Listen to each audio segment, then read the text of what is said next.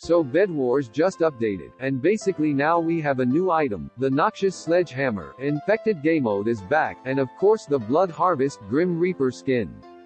We have Freya, Farmer Cletus and Pirate Davey for our free kits of the week. There's also some balance changes and the scoreboard UI has been updated too. Let's go into a match and see the new scoreboard. As you can see here, the scoreboard looks really clean, and they also made it so that you can see what kits your enemies and teammates are using. I feel like this new look is very cool, but it takes up the whole space on my screen so I can't have the leaderboard open while I'm playing.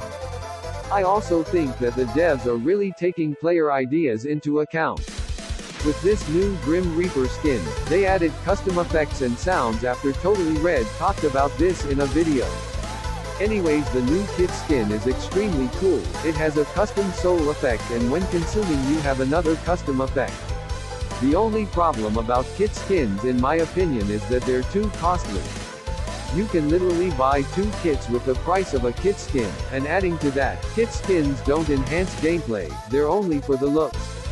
Well thanks for watching, road to 500 subs, please subscribe it helps me a ton.